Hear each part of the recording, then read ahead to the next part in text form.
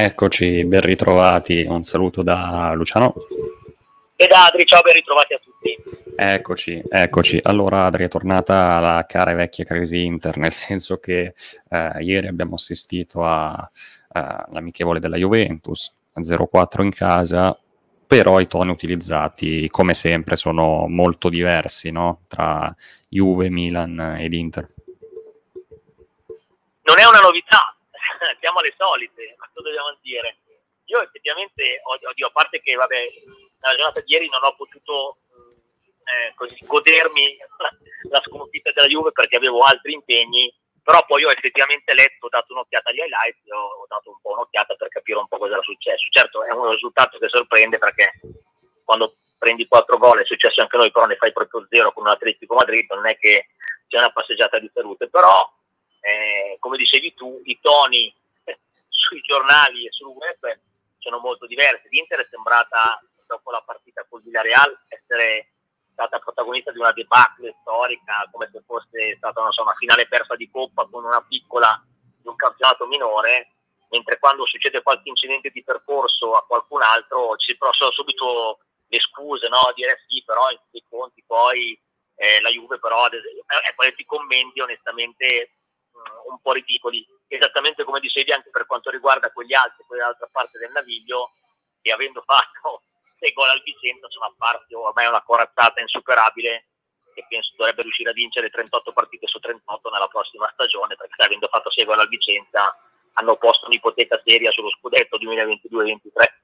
Esatto, no? che poi tra l'altro hanno giocato contro squadre impresentabili, cioè anche lo Stoccarda con quella squadra ungherese con cui hanno perso, con il Vicenza, eccetera.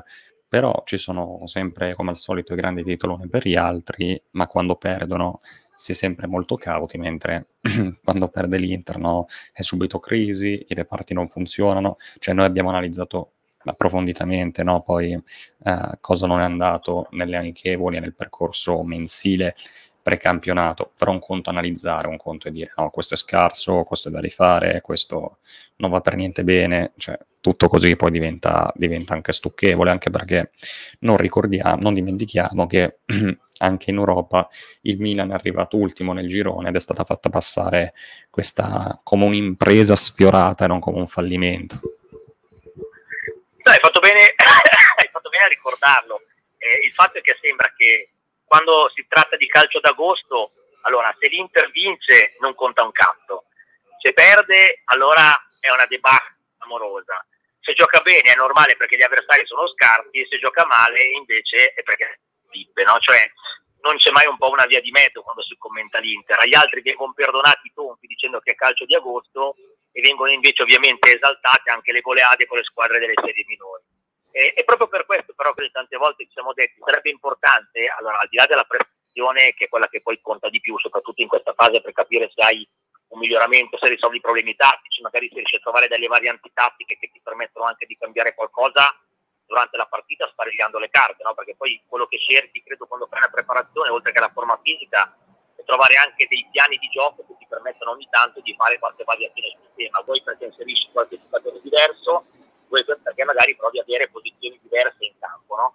Eh, questo è quello che dovrebbe contare di più. Nel nostro caso forse conta anche un po' di più il risultato, non tanto per noi, ma proprio per evitare questa sorta di gogna mediatica, no? perché ogni volta che l'Inter fa un passaggio a vuoto in amichevole, e recentemente, devo dire, dopo il Lugano abbiamo fatto, vado a memoria, eh, tre pareggi e due sconfitte, e allora è chiaro che poi tutto quello che è il mondo web, giornali e quant'altro sembra scatenarsi apposta contro l'Inter cercando di evidenziare solo quello che non funziona a discapito magari delle cose anche positive che comunque in queste partite sono viste. Ecco, quindi magari qualche volta l'auspicio di riuscire a fare qualche risultato migliore è più che altro per ridare un po' di fiducia a un ambiente che altrimenti viene depresso ulteriormente dal trattamento che ha quotidianamente su stampa e, e mondo web. Beh sì, Adri, apprendo che ieri i, i campioni d'Italia hanno giocato contro anche loro la Pergolettese e hanno vinto 7-1, quindi si apre una mini crisi, hanno subito gol dalla Pergolettese, difesa da rifare, attacco non sufficiente perché se l'Inter ne ha fatti 8, no? Chissà cosa sentiremmo a parti inverse. Quindi... Invece, invece abbiamo sentito che Catetere praticamente ha vinto la tripletta è candidato al pallone d'oro, quindi a questo punto abbiamo, dopo le AO si giocherà a questo punto il pallone d'oro anche con, con Catetere dal Belgio e quindi saranno due a giocarsi praticamente la vittoria per il prossimo anno. Prendiamo atto perché devo dire la sfida propria con le tese può diventare veramente lo spartiacque tra una squadra che dominerà la Champions, il campionato italiano, e un'altra che invece se dovesse fare risultati peggiori in amico delle cose per le tese probabilmente farebbe un po' più fatica anche in Italia, non so, vediamo così. Assolutamente, che poi anche gli acquisti, no? i nostri acquisti passano in secondo piano. L'altro ieri Aslani ha giocato una buona partita, 2002, ma nessuno parla dell'età, ma si parla solo del giocatore.